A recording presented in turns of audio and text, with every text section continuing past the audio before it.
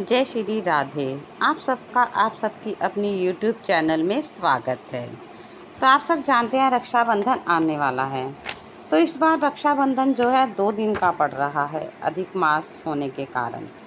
तो भद्रा काल में क्यों नहीं बांधी जाती राखी?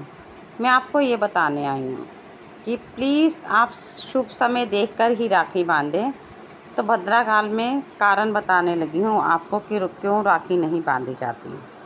भाई बहन का पवित्र पर्व रक्षाबंधन है। इस दिन बहनें अपने भाइयों की कलाई में राखी बांधती हैं। लेकिन रक्षाबंधन के दिन राखी बांधने से पहले भद्राकाल और राहु काल का विशेष ध्यान रखें, क्योंकि भद्राकाल में राखी बांधना अशुभ माना जाता है। मान्यता है कि भद्रकाली में किसी भी तरह के शुभ कार्य करने पर उसमें सफलता नहीं मिलती। आज मैं आपको बताती हूँ भद्राकाल क्या है। तो प्लीज़ जल्दी से आपने मेरी वीडियो अगर सब्सक्राइब और लाइक नहीं की तो जल्दी से सब्सक्राइब लाइक कर दीजिए। भद्राकाल शनिदेव की बहन का नाम है, जो भगवान सूर्य और माता छाया की संतान है।